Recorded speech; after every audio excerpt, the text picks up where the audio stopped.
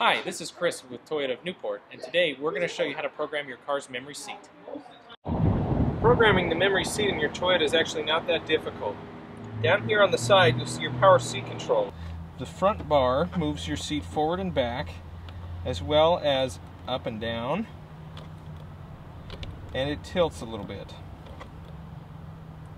The back bar here leans your seat back, or leans it forward.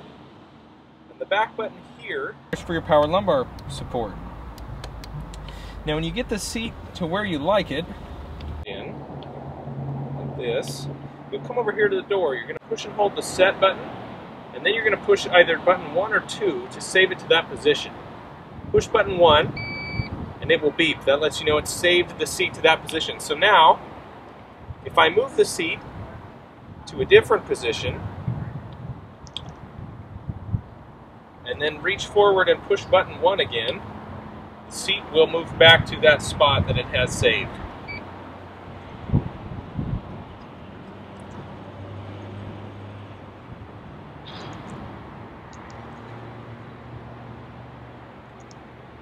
And that's how you program your memory seat.